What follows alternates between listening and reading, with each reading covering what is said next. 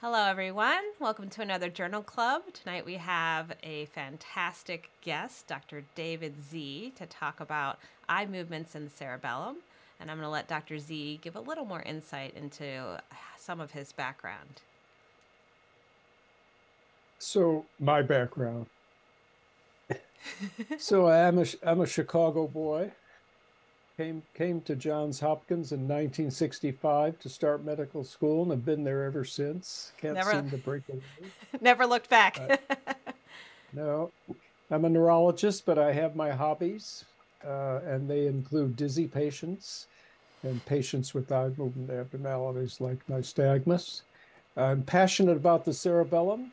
Uh, I, I, really started my academic career uh, studying patients with cerebellar disease and doing some work in experimental animals.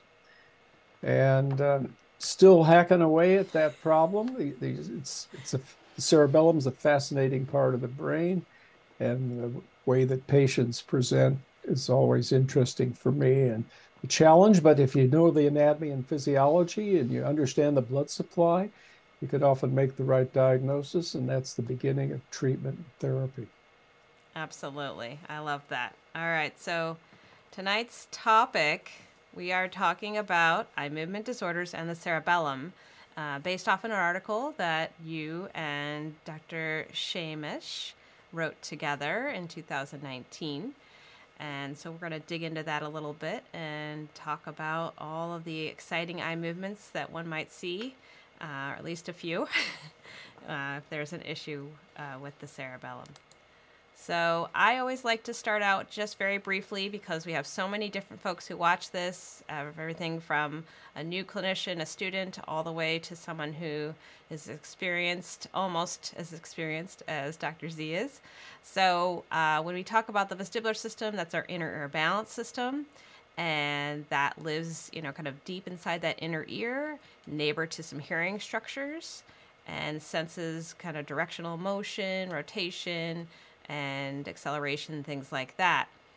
With that, we also have the brain. So the brain has a multitude of areas that can process information, and some of those areas process information from that vestibular apparatus, that inner ear balance sensor, as well as information from the eyes and our body sensors and hearing and all kinds of other information getting integrated and uh, put together for folks to try to interpret our world. Um, unfortunately, as, as awesome as the brain is, it can have problems of various types. And when those problems occur, sometimes we know that uh, because of you know different symptoms and signs that we might have on exam. So we're going to dig into some of the eye movement related signs and symptoms. The cerebellum, in particular, in our brain, uh, is described as a, a network hub sometimes for optimizing eye movements through its connections with the brain stem and beyond, meaning everywhere else in the brain, and of course its connections with the eyes. Uh, if you could just kind of talk a little more about what that means to you, Dr. Zee. Well, so the, the amazing thing about the cerebellum and why it both uh, gives us a lot of trouble and also gives us a lot, of opportunity is its extraordinary rich connections. And inputs come from everywhere.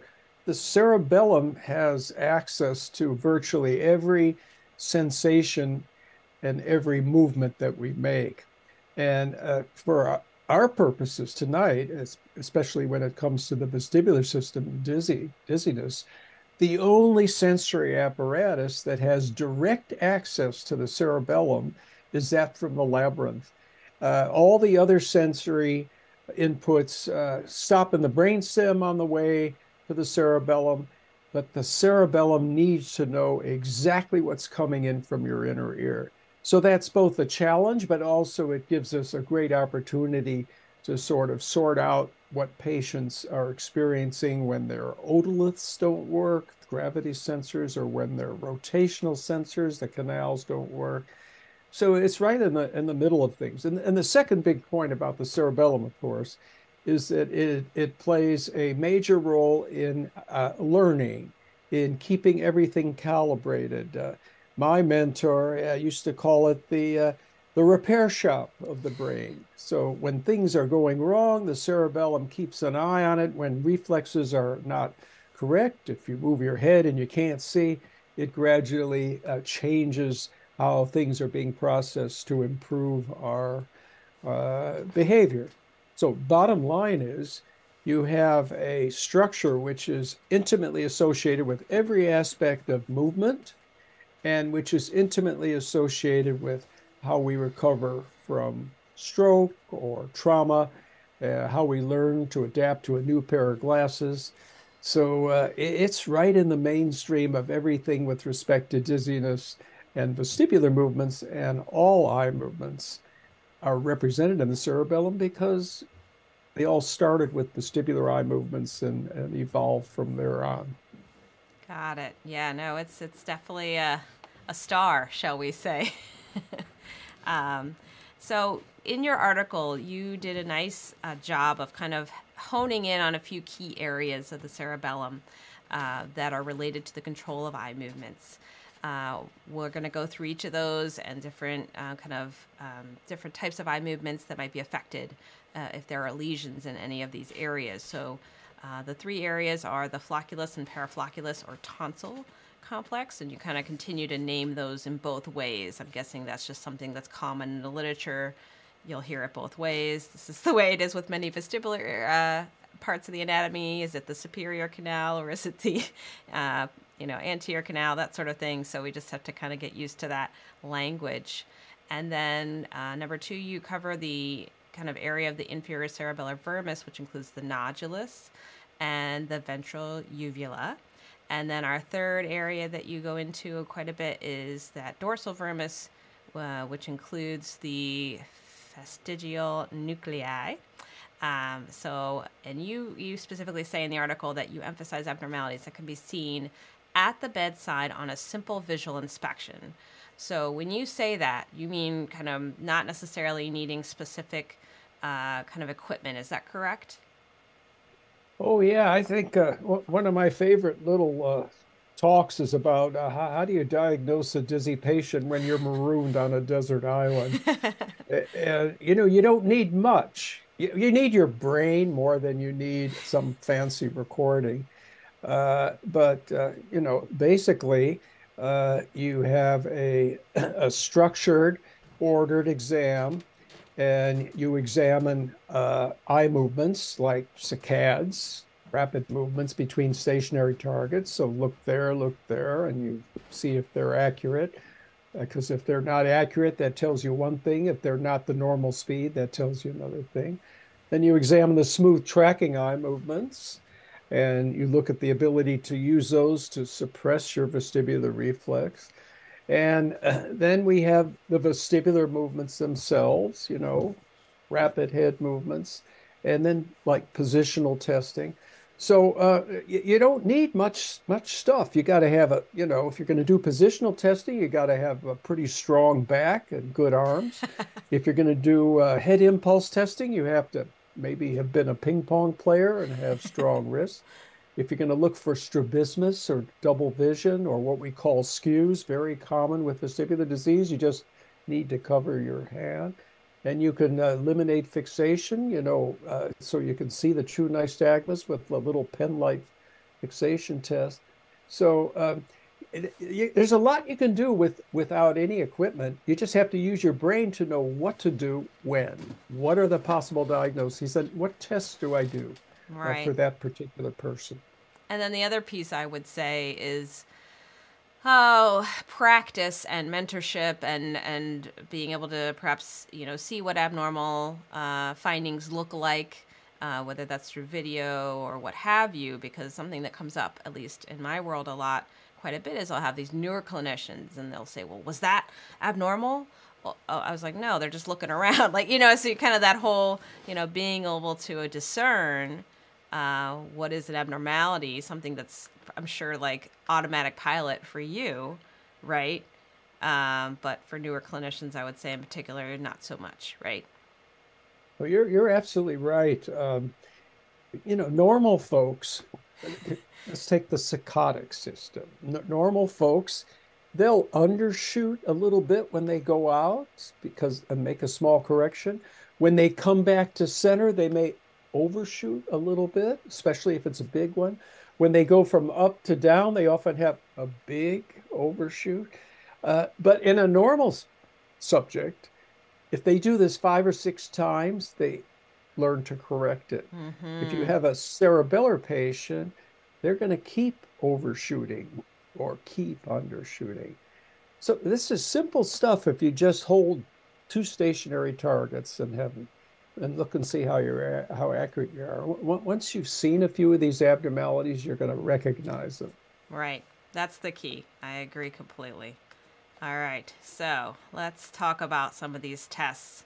So, we're going to start with the flocculus and paraflocculus areas or the tonsil complex. And one thing that you kind of name out in this paper uh, is the impaired tracking of objects moving in the environment, either with the head still or moving. So that first one would be what we call smooth pursuit, which you just described so nicely. Um, and you note in the paper that a downward pursuit is often more involved than an upward pursuit.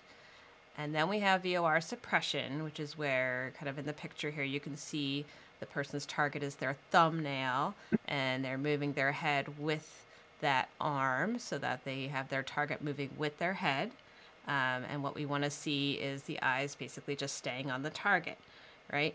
So why don't you go ahead and, and people talk about this kind of saccadic intrusions. Um, and, and do you feel like that that is something that you're going to see until they have practice almost the way with the overshoots, undershoots, or is it not that way with this? So um, I, for me, a saccadic intrusion is something that intrudes on fixation. So uh, let's say I'm looking straight ahead and all of a sudden I do that. We, we call those saccadic intrusions or square wave jerks. Uh, and th they are common in older people, in people with a variety of, of problems. They're especially prominent in two conditions, cerebellar disease and a, a condition called progressive supranuclear palsy, where patients have trouble looking up and down. And, you know, people with schizophrenia have saccadic intrusions. So they're they're, you know, not so useful most of the time. And you can see them in normal circumstances. What is most important is to detect that saccadic dysmetria. And if I had one test to do in everybody, well, I should say two, I would do a vestibular test and a saccade test because they're so easy to see the abnormalities. So if I'm looking there, go, like that. Maybe later, if we have time, I can show you some videos of these things. Sure.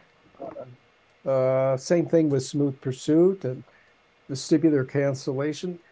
once you see them, you, you, you can recognize them. I have to tell you, at my hospital, I, I would send the patients before I even saw them sometimes to the physical therapist because they know how to do a good eye movement exam. They know how to test for a positional vertigo. Um, you, you know, uh, physical therapists are, are, are super because they learn these things and you can uh, sometimes uh, just send the patients to the person who can treat them. Right, right. It's just when it gets more complicated with the medical management, we want to make sure that we have the right physician on board. But obviously, it's it's case by case. So you make a good point there. Um, so moving to this second slide here on flocculus paraflocculus defects. Uh, you talk a bit about the inability to hold the gaze steady, uh, which is both straight ahead, so that'd be us seeing a, a spontaneous nystagmus, and then also this kind of eccentric positions, which is the gaze evoked. So when the person is gazing left or right or up, um, you might see a nystagmus in the direction in which they're gazing generally for cerebellar issues. Is that correct? Yeah, so uh, I, you're talking about gaze evoked nystagmus. Uh, just to make a couple points, like with saccades, occasionally normal subjects have a little gaze evoked nystagmus. Um, the, the, way I deal with that is uh, if it goes away very quickly, it could be physiologic. Uh, and, you know, a, another trick at, at, the exam is so if they look out here and their eye is beating out, that would be a right beating gaze of nystagmus. The eye is drifting to the center and beating out. You move the target in just a little bit so that both eyes see the target. You know, you got to, it sort of depends on how big your nose is mm-hmm. when, when that place is going to be. But if you bring that target in where both eyes are seeing it and there's no gaze of nystagmus, that suggests that the gaze evoked nystagmus out there might have been physiologic. Okay, right. so uh, but gaze of and you can see gaze of gaze evoked nystagmus is central, but it doesn't mean catastrophic. People on all kinds of medications will have a little gaze evoked nystagmus. This late in the evening, there's probably people here who, who've had some wine tonight, and I suspect they may have had gaze evoked nystagmus. And uh, so, so that's what you have to look for. And of course, I'd like to quote my good friend Michael Halmagyi, who says, uh, if you have a patient with nystagmus and you don't put on some Frenzel lenses or some way to eliminate right. fixation to see the true nystagmus, he says, it's like examining a patient with a heart murmur without a stethoscope. So uh, it's very important to remember when you have a, a patient with nystagmus, you need to know if it's there or how much it changes with and without fixation. Yeah, that's an excellent point. And and I think with that uh, we could mention this at any point in the talk, but I, I feel like this comes up so often. Physical therapists who are newer, they'll say to me, you know, as I'm maybe mentor them, mentoring them or whatnot, well, when should I refer? You know, I thought I saw this, or I maybe thought that. You know, should they see the neurologist? Do you have any kind of general guidelines? Well, I'm very happy for you to refer patients to me, except when I'm on vacation. so, so when I'm on vacation, I don't want to hear uh, guidelines. You know, w- what can I say? Uh, if you're not sure about the diagnosis, refer. Sure. Okay. If the patient has some of the red flags, you know, of, of neurological disease, uh, pain being one of the most important ones.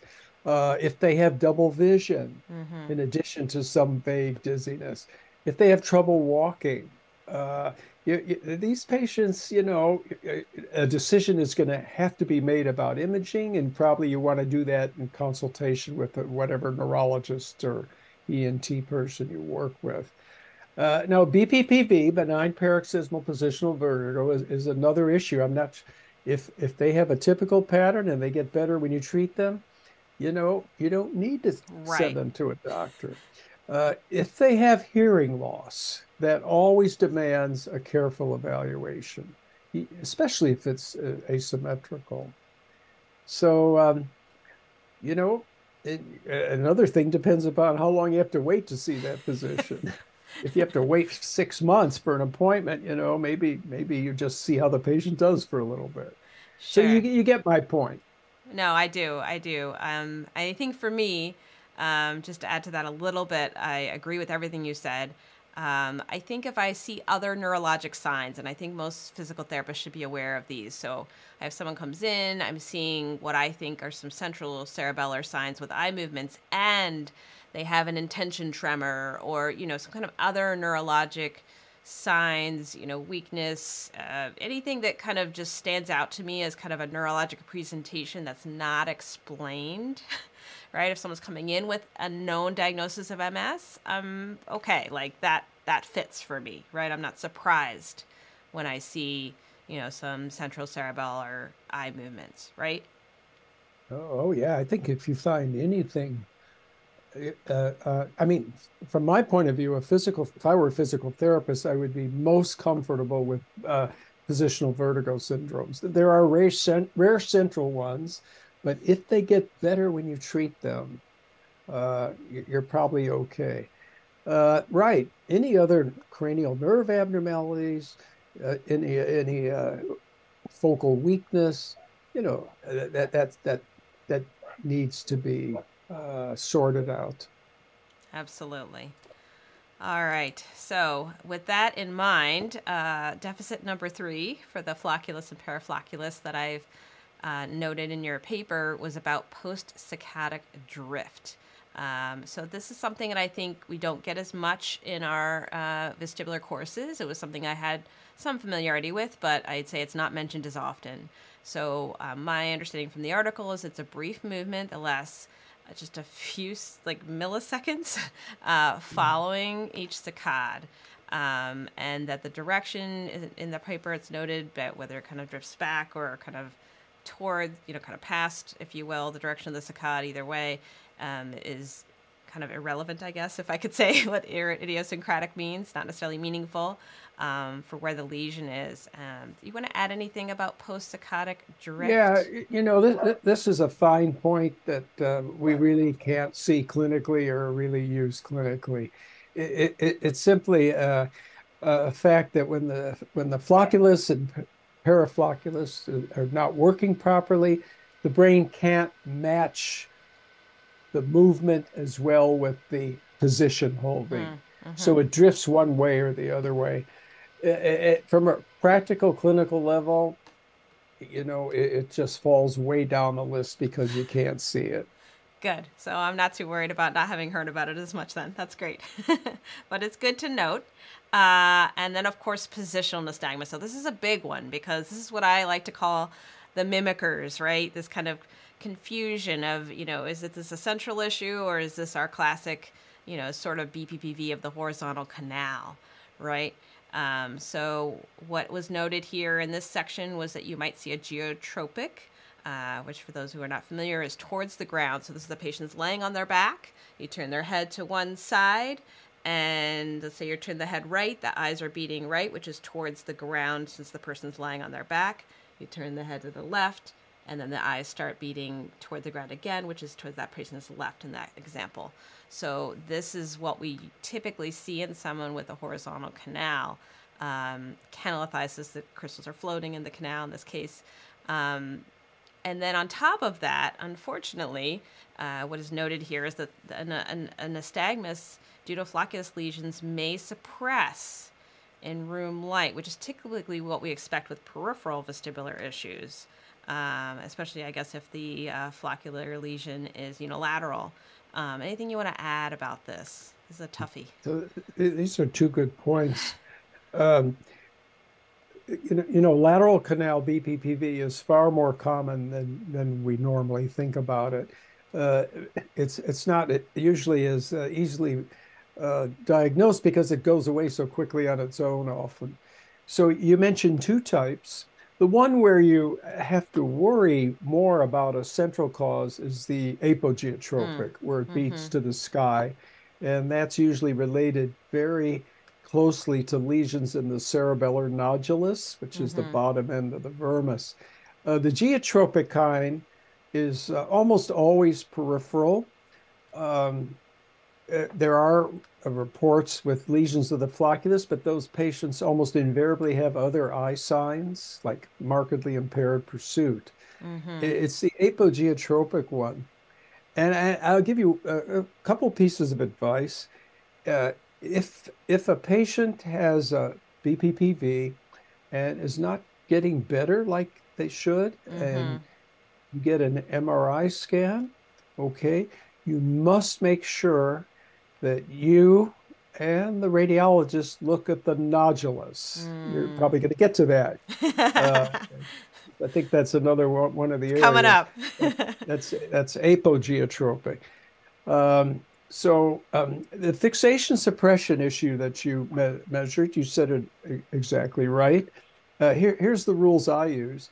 A peripheral should almost always markedly suppress uh, nystagmus with fixation. A central one, if it doesn't suppress at all, you're home free. Mm-hmm. That is central. If it partially suppresses, and especially with a unilateral lesion, uh, that can happen with a central lesion. So it's just what you said. Perfect. It, like so many things, if it's there, you can use it. If it's not there, you, you may not be sure. But you're hopefully going to see some other central sign, and that's why that full ocular motor screening uh, for certainly smooth pursuit saccades this to me very essential. And I do worry because I know there are sometimes clinicians out there that kind of they're in a rush. I don't know. They're like, oh, I'll just do a quick head thrust test and check for BPPV, and I'm like. Uh, I really think that's not a good idea, right? Because you might miss something that would, you know, give you more information, right?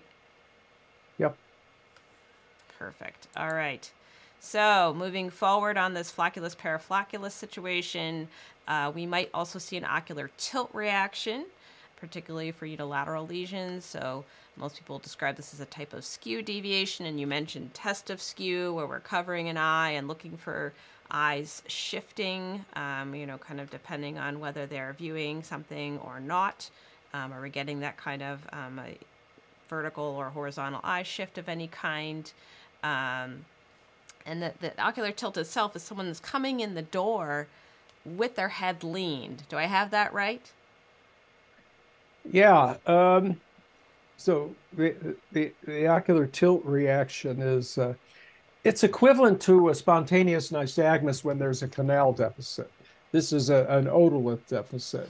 And rather than a dynamic change like with a nystagmus when you have one labyrinth working, now you have one set of, uh, of uh, otoliths working, you have a static change.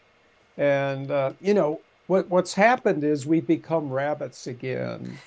Uh, if you're a little old rabbit, and you tilt your head like this, your brain wants those eyes aligned on the meridian. Okay. So we would correct. So even though the head's tilted, the eyes are aligned along the horizontal meridian. So that, that's a normal response in a rabbit. So ocular tilt is normal, a rabbit. So we've kind of brought our eyes around front. And now when we tilt, mm. we want a counter roll. But when there's an imbalance the old ra- uh, rabbit kind of phylogenetically old reflex comes out and we do that kind of thing. Uh, awesome. Uh, it's so easy to see. You just do this alternate cover test. It's very common with brainstem lesions. It can be very localizing. Uh, you know, if the lesion is in uh, the midbrain or the the MLF, the eye is higher on the on the side of the lesion, high high. And if the lesion is in the vestibular nuclei, or even a little bit in the eighth nerve, the eye is lower on the side of the lesion, low, low. So high, high, low, low. And that doesn't mean I'm leaving. I'm talking about brainstem localization now. Uh, so it's it's useful to know about it. And of course, it's part of HINTS, the diagnostic algorithm for a stroke.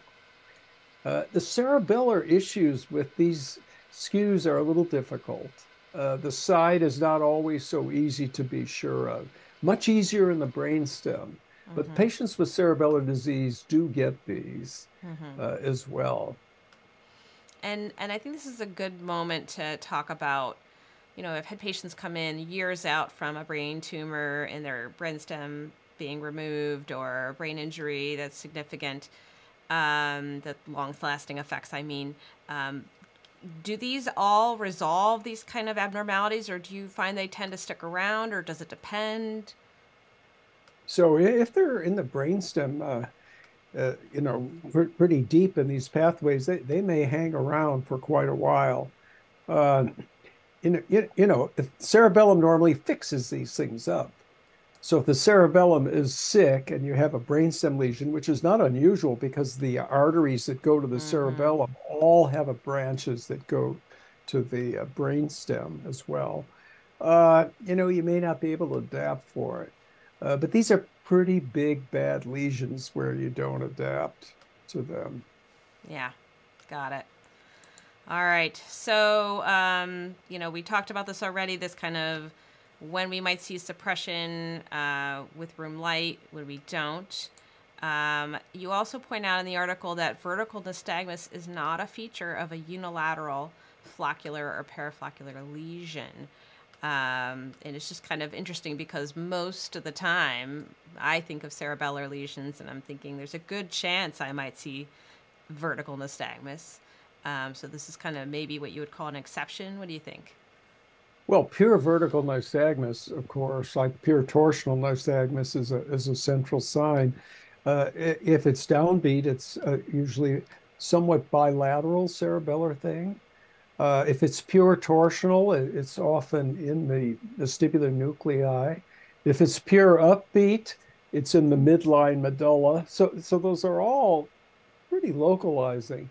Uh, another problem is, is, is the cerebellum is kind of pluripotential. If the flocculus goes bad, the nodulus uh, has some role. Smooth pursuit is represented in like at least 3 mm-hmm. different structures cerebellum. So one part can fix up uh, another part. Uh, but you're so right. And even with the apogeotropic horizontal nystagmus due to central, there's almost always a vertical component mm-hmm. with it mm-hmm. too. Downbeat nystagmus is a red flag. Upbeat nystagmus is a red flag. Uh, now, when you get mixed vertical torsional, it could be peripheral, BPPV, for example. Uh, you know, I, I, probably would be in another field if this were all worked out. It gets, you know, I've been at it for half a century, but we still, it's complicated, this stuff. I still have nightmares. Fair enough. All right, we've got to move on to the nodulus and ventral uvula, of course. And one um, type of spontaneous nystagmus that you mentioned in the article that could be seen um, in folks with lesions in this area would be this periodic alternating nystagmus. So I am going to show this video. If I can sort it out.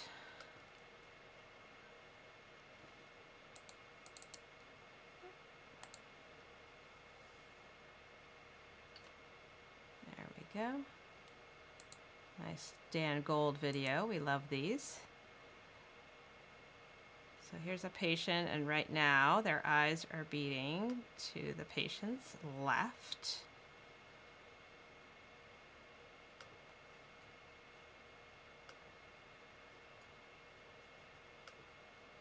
That lasts for a bit. I'm going to speed this along for time purposes.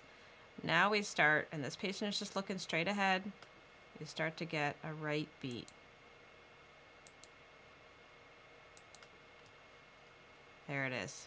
All right, so I did have to jump ahead, but that's how this is. It's not like it switches, you know, three beats right and three beats left from what I understand. It's, it's going to be more this kind of beating to one direction for a bit, you know, 60, 90 seconds, somewhere in that range sounds like, and then it switches off. So this is uh, something that I have to admit I have not seen in clinic, so I feel like it's probably pretty rare, which I guess is a good thing.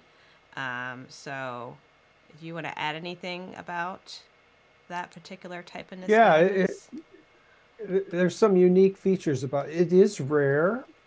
Uh, it's pretty easy to make the diagnosis when when two people, one the intern and one the resident, are talking about it, and they argue about what direction it's in.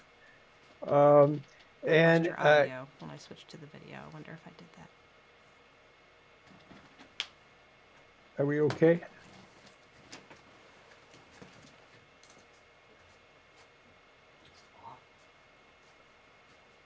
Can you hear me?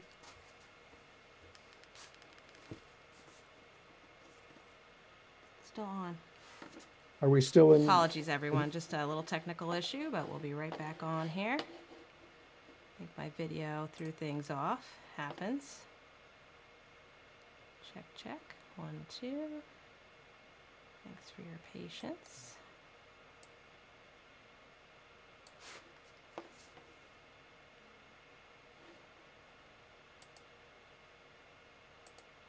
and talk. Go ahead and say something else for me, Dr. Zee. Can you hear me? There we go. I apologize. I think my video threw everything off. My That's life, right? All right, here we go. Back in action. Okay. So, I'm sorry. Dr. Zee, you were going to say something about that periodic alternating nystagmus. Go right ahead. So, it's rare. Um, you can make the diagnosis when uh, two people who've examined the patient argue about what direction the nystagmus was beating because they were looking at different times in the cycle. we, we know exactly the localization for the typical form. it's one of the few forms of nystagmus that we can nail the anatomical localization. It's the cerebellar nodulus. And we have a unique treatment for most of these patients. It was the first treatment that actually stops the nystagmus. Wow. It's with baclofen All right. drug. And we understand its pathophysiology probably better than almost any other kind of nystagmus. Uh, basically, you remove inhibition from the vestibular nuclei because the nodulus isn't working. Mhm. So the vestibular system, vestibular nuclei starts to run away with uh, loss of inhibition, developing nystagmus in one direction.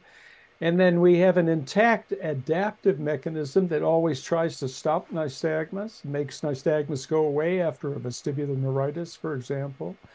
And that adaptive mechanism stops it, but then it takes off and goes off in the other direction. And every two minutes and 10 seconds, this happens while you're awake. And uh, that, that that's the story. It's it's localizing, it's understood, and it's treatable. That's awesome. Well, that's what we want something that's treatable. Goodness knows. Uh, so another type of spontaneous nystagmus, however, that can also be seen in folks with a lesion in the nodulus or ventral uvula could be a downbeat nystagmus.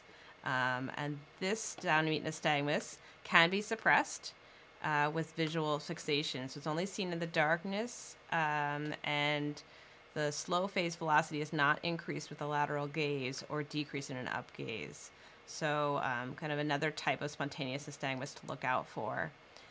Uh, another deficit you might see in the nodulus or ventral uvula area would be this loss of the normal decrease in the VOR time constant after repetitive stimulation in the dark. So this kind of gets a little deeper into vestibular testing. I know there's varying levels of comfort for folks on kind of what that looks like. My understanding is you're sitting a patient in the dark. Um, and normally you would get a certain nystagmus, just like if a kid spins in a chair, right? And then they stop, and you see this kind of uh, residual, if you will, nystagmus. Um, so I think the key here is is a clinician going to see this or kind of stimulate this type of response, or is this something you're only going to see uh, with kind of more specialized uh, VNG type testing? What would you say? Well, the the, the most uh, so you're a little physiology here just to explain what's happening, and then we'll we'll, we'll make it useful clinically.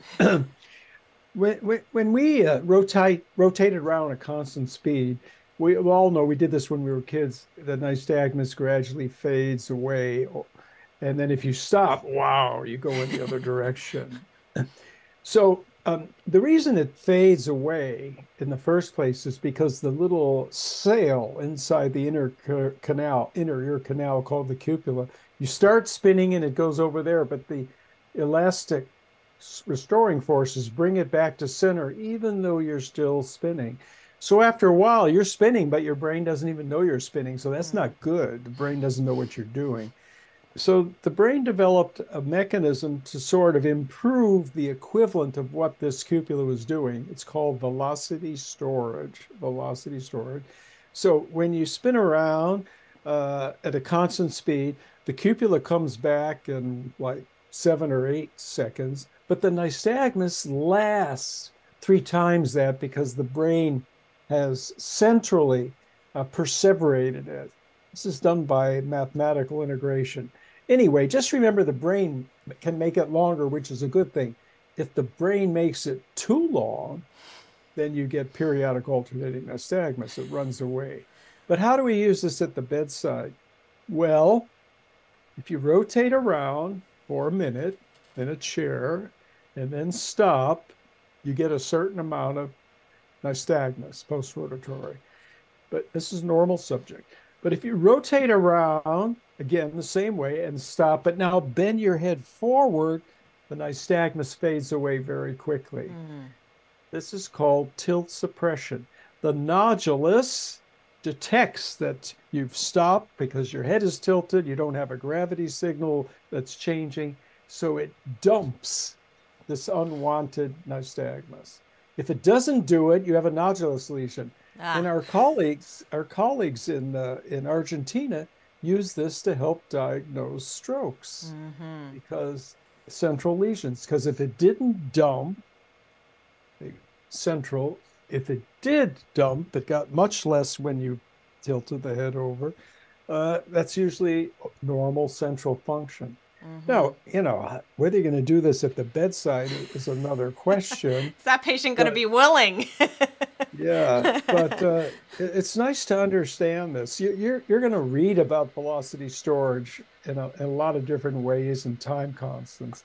But the easiest way for me to understand it is just a way for the brain to kind of perseverate low frequency responses. Mm-hmm. And that's mm-hmm. the nodulus controls low frequency VOR.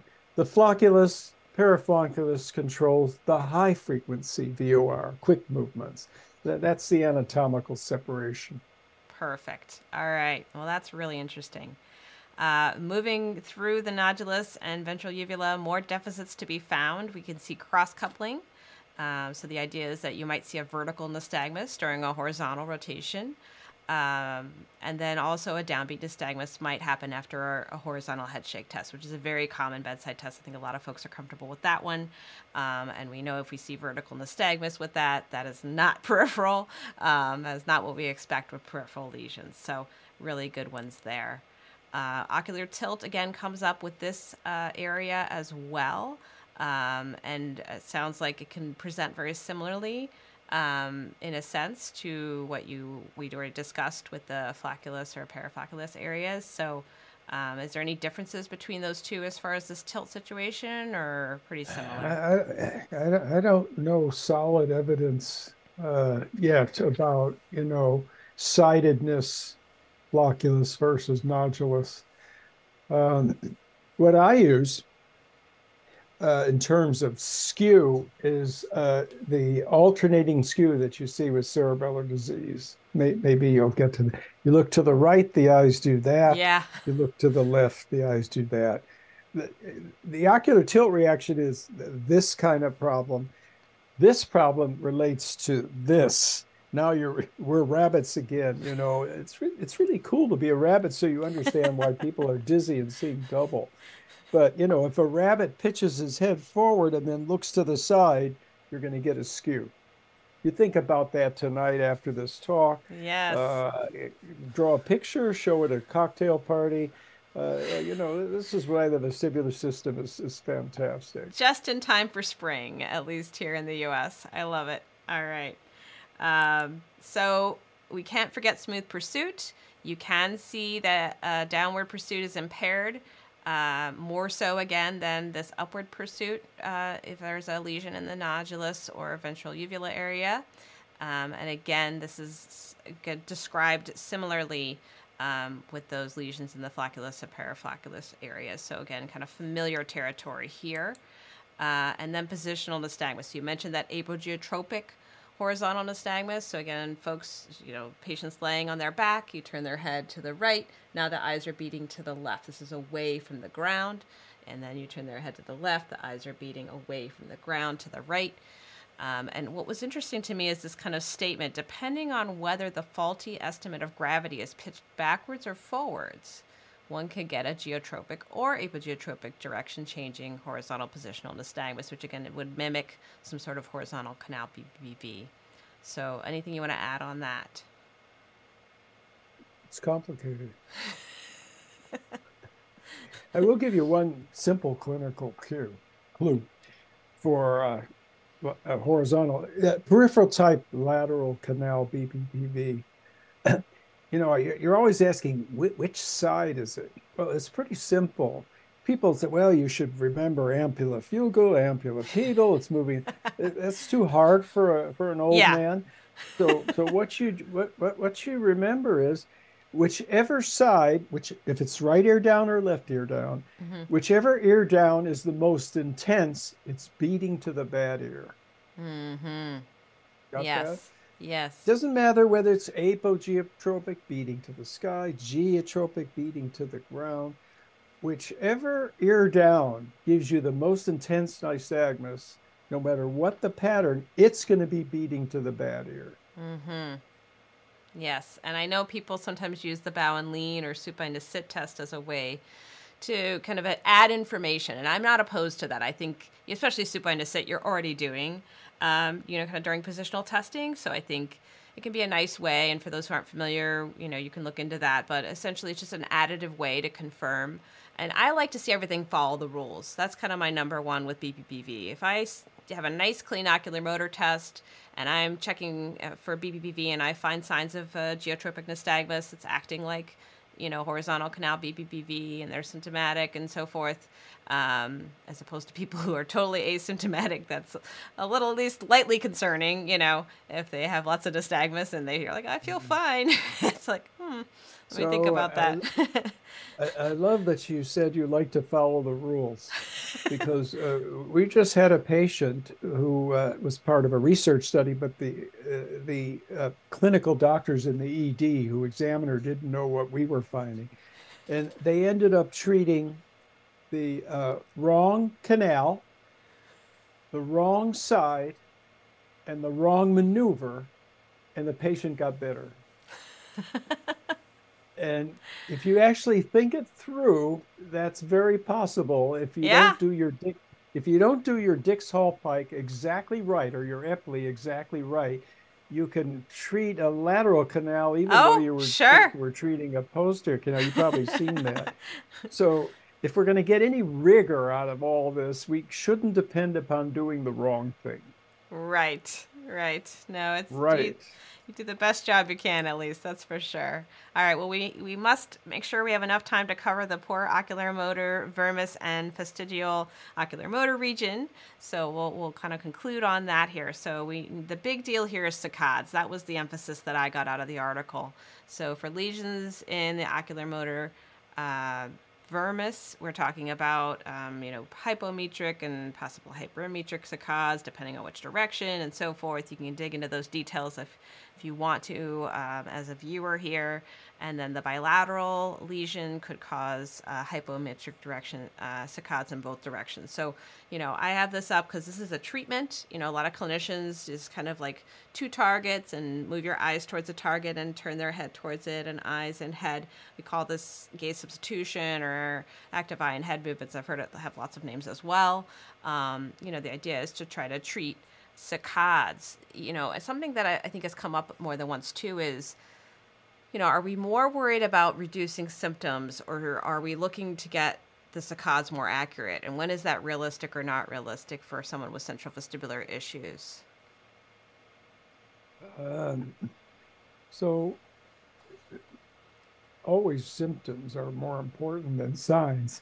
Um, so, tough to treat saccadic dysmetria in patients with cerebellar disease because the cerebellar's job is to make the saccades accurate. Uh, we've had a little success uh, pharmacologically with mm. memantine in treating some patients who have excessive saccadic intrusions or lots of overshoot dysmetria. Uh, it's a toughie, and uh, I'm not aware you can help me here of, of, of good data showing that you can uh, kind of treat cerebellar saccadic dysmetria. Patients are much more bothered by double vision mm-hmm. and by uh, poor vision when they move their head. Uh, most patients don't come in and say, gee, I don't think my smooth pursuit is up to snuff you know, or uh, gee, uh, yesterday I looked to the right and I had a saccadic overshoot. I mean, patients patients don't come in with that. They come right. in, I have double vision, or I can't see or read when I move my head. And to me, that's where focus of therapy usually mm-hmm. should be. Folk should be uh, tar, tar that should be the target. Right. No, I, I think you're right. Um, uh, I think what I like to use this sort of treatment is you know, sometimes this faster head movement, is kind of gaze stability exercises that are one of the mainstays uh, of current vestibular rehab, are just too much to start with. The patient, you know, can't coordinate their head movement or they just get too dizzy off the bat with it, and it's just not appropriate to start at that level. So the active eye and head for me are good because it's a way to kind of break down these kind of head turns, which is really what I'm trying to achieve um, in a slower motion you know, and kind of lets them kind of work through that a little bit before we were to go to a full no, as I like to call, you know, the horizontal uh, VOR exercises, as they call them, mm-hmm. right? So this is to me, you know, a more functional way to progress patients, and I think mm-hmm. that if we. So I like what you just said, especially uh, about treating in a functional way. You know, if we do all these exercises, I mean, you know, we, we don't we don't do this in normal life very, very often. You know, oh, right. you, know, you you might be saying no to someone, you know, but you know, uh, but we move our heads and then we move our eyes. Uh, one reason that saccades are a little accurate when we start from way out, they overshoot, or when we go out, because we don't ever do that naturally. Right. We always move our head in, or we almost always start a saccade within plus or minus 10 degrees of straight ahead because we, we, we line up our heads. So the idea of doing something like watching a tennis match back and forth. Uh, doing something natural, doing something fun, yes. and doing something that relates to uh, normal activities. Uh, you know, walking around with a, a times two training, uh, it's it's okay, but I don't think you're going to get a lot of patients to do that for you know a couple hours a day, which is, you know, you need a lot of training, but it's right. got to be fun no, definitely. I think you hit the nail on the head there. All right. So, with that in mind, uh, also saccades can be impaired for someone with uh, issues with their fastigial, I'm going to say that, ocular motor region. Um, and they could get hypermetria as well, all directions. Um, and then you mentioned Wallenberg syndrome in the article. Um, hopefully, folks are familiar with that. It's kind of a particular type of lesion, um, lateral medullary syndrome, they call it, that kind of thing. Um, and this is an interesting case because it's kind of functional lesion. So you're not necessarily, so you're inhibiting the FOR because of these connections. You talk about that with the Purkinje uh, fibers. So it's just like a, a good reminder that the, the brain is really interconnected, which is, you know, good because we have some redundancy and such, but also can be challenging because, you know, one area can affect another area. And I think that's a good lesson uh, for this part. Um, and pursuits can also be impaired in someone with lesions to the OMV, that uh, oculomotor vermis, and uh, we could see issues with horizontal pursuit. Um, and you talk about acceleration, kind of changing speed a little bit when we're testing is always good to see what happens there. And then contralateral acceleration for pursuit is decreased for those who have lesions in the vestibular uh, ocular motor region. And, you know, basically you're going to see impaired pursuits probably in this group is kind of the, the, the, take home of this section. And then uh, you even talk about bilateral lesions um, for that fastigial ocular motor region and um, how you can preserve horizontal smooth pursuit there um, because pursuit can be generated outside of the FOR. So this is a great way to say that sometimes a lesion is really specific, right? We're kind of, oh, we know if we see that, you know, periodic alternating nystagmus, we really kind of know where the lesion's at. But other cases, the lesion gets hidden, right? Yeah. Um, you know, there's a, there's a diagram in the in the end of that article. Yes. I don't know this Venn diagram it's coming up. uh, so uh, you know, it, I I usually show that last diagram after I show a picture of someone pulling all their hair out. uh, it, it, it's just it makes life fun and difficult.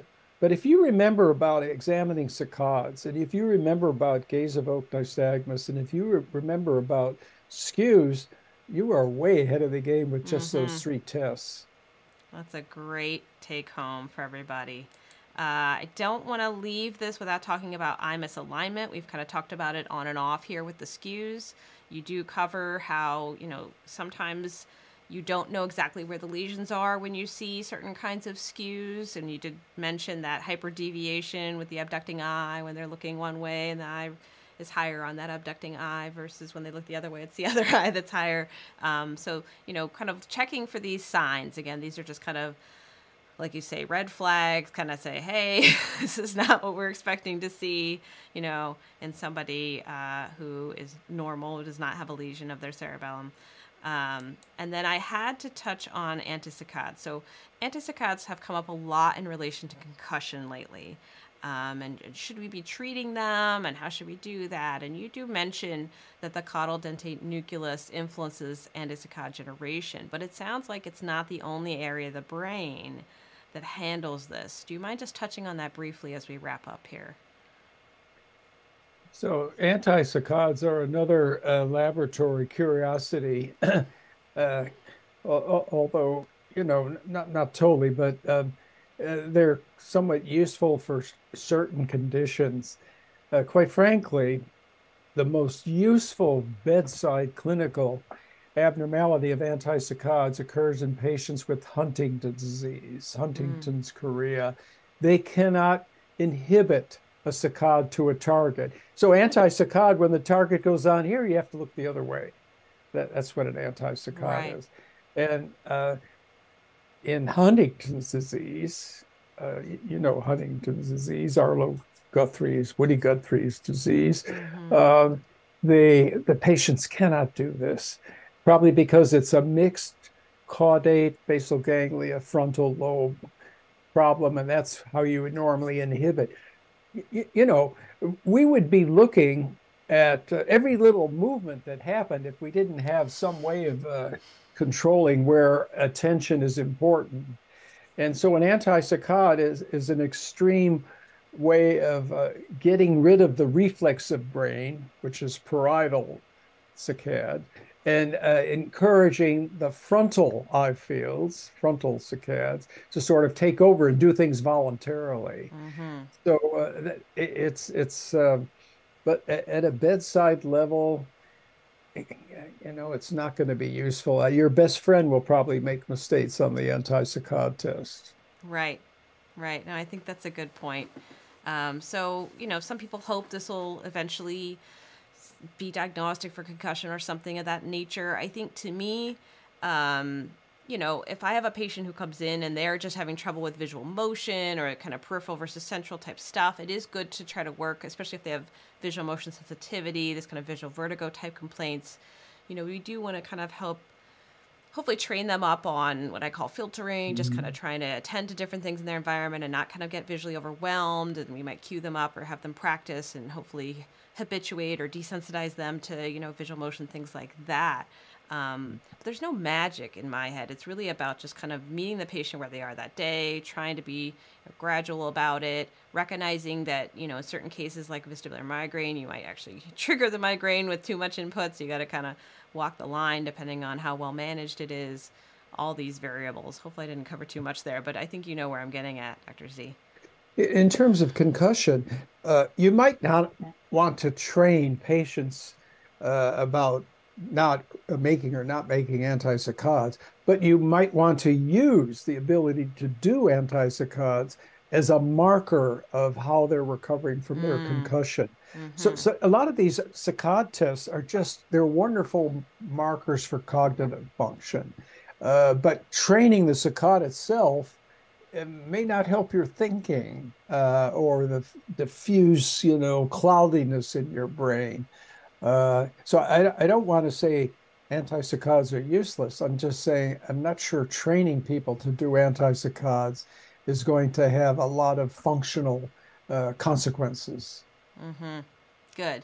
But I think reaction time and some of the other things that people maybe kind of don't maybe don't even realize are related to this, that can be very useful. I've definitely would say, you know, especially with the athlete, um, you know, but even the, the, the, typical adult uh, that needs to be able to react for safety for driving, you know, I think there's something to be said for just kind of trying to train up balance and attention and you know, as physical therapists, we hopefully have a team, occupational therapy or speech therapy or whatever's appropriate uh, but sometimes you're a little bit on your own for various reasons. And so, you know, we do try to be a bit integrative, I think, which is okay. As far as training uh, a saccades, uh, I think one potentially fertile field is uh, training people to make covert instead of overt corrective saccades. So, in other words, you want the, and visual acuity can get better when when you have more covert saccades. Uh, that brings up a, another point. I mean, uh, when you're measuring the VOR and measuring functional improvement, we only really care about if they can see better when they move their head. We, we don't care about how many covert saccades or overt saccades or what the VOR gain is or how much is saccade. I mean, all these things are interesting, but the bottom line is, hey, is my patient functioning better? So uh, really, these new tests of measuring eye movements and functional uh, uh, dynamic visual acuity at the same time are, uh, you know, potentially really much more important, For in sure. my opinion. No, I think it's valid, and and I think this is where people may get in the weeds, but I think having a big picture is always helpful. You know, when we're trying to think about how to help our patients functionally, for sure.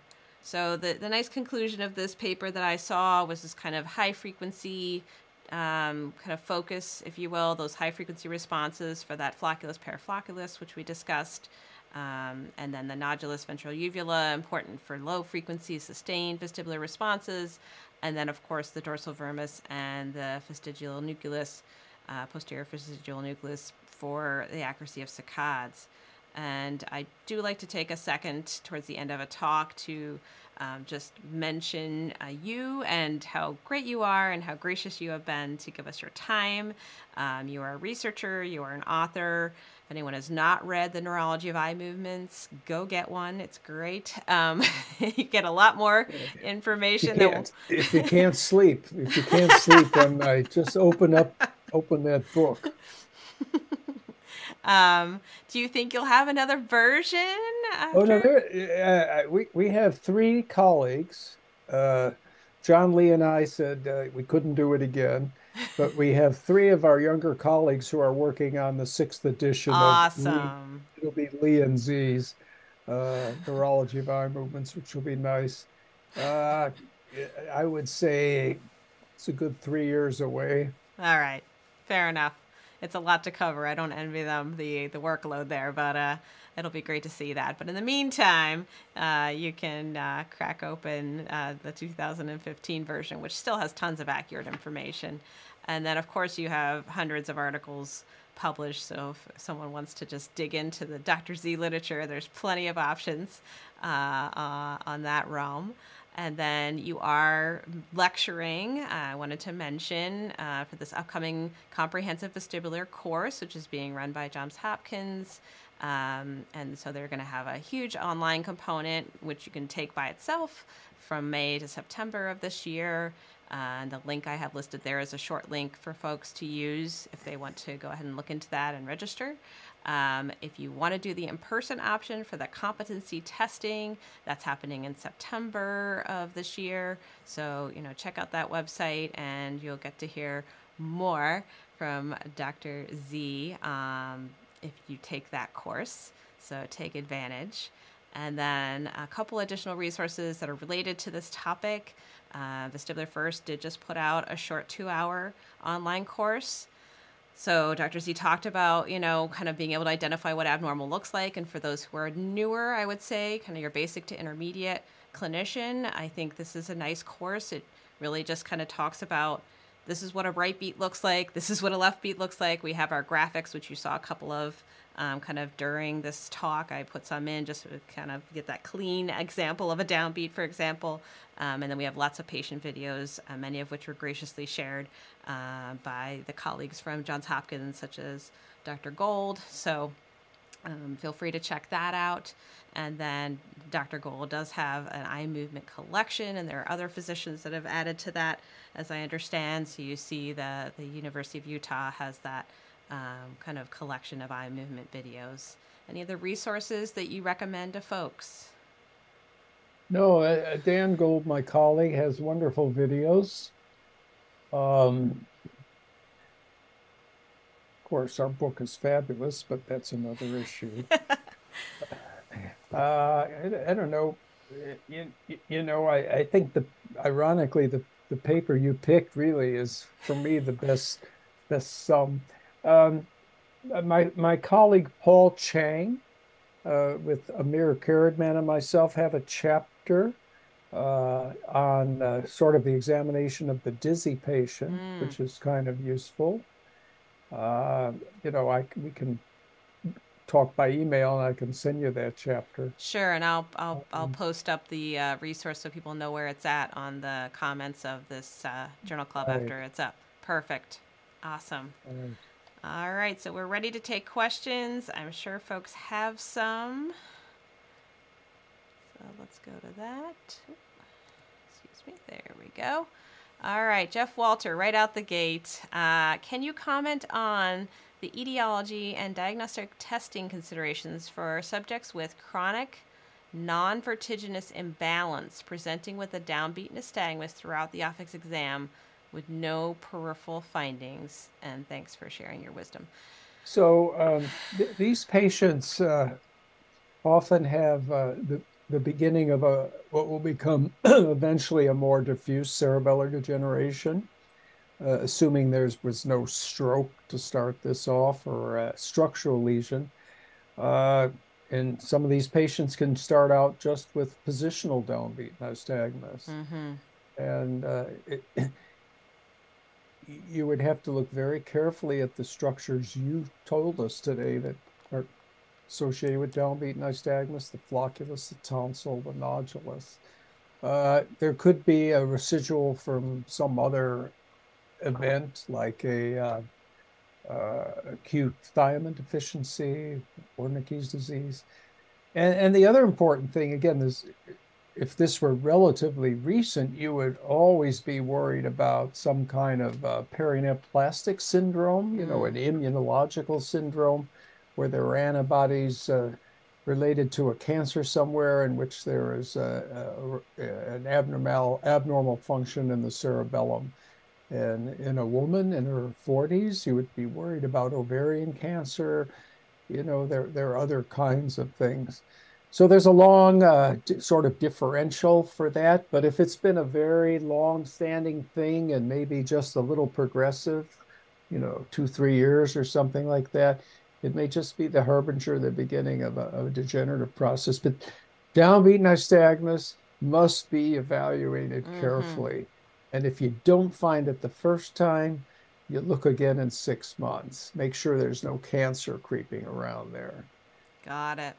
Got it. So refer as a PT uh, to neurology, um, and kind of I try when possible to to find out who they're going to see and and just let them know, um, you know, what I've seen and and you know hopefully they'll do their their due diligence, of course, to to kind of rule out and then monitor, right?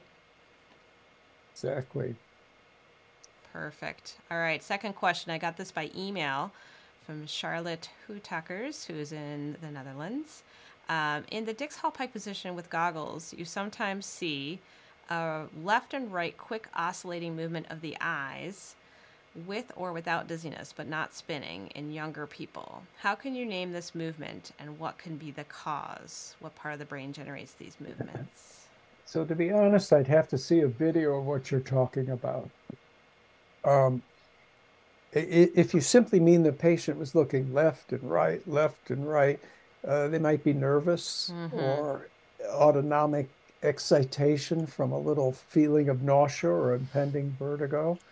Uh, if it was a nystagmus, that's another story. So, to be honest, uh, get your iPhone out there and take a video of this and send it up, send it, send it to us. Right, right. And if you have, uh, you know, in, infrared video goggles, that's one argument because I've seen clinicians say, oh, I don't need them. Well, it's like, you know, it's so handy to me to have them on a patient. Even there Mm. might be a nystagmus I could have seen in the light, but maybe I would only see it in the dark. But either way, now I've got two cameras right in front. I can get a nice, good video. Um, and and share that you know with with the appropriateness of, of the So, so these video goggles are great, uh, much better than trying to slap on Frenzel lenses and see. But you're also going to find that many normal subjects have teeny Right. weeny bits of nystagmus.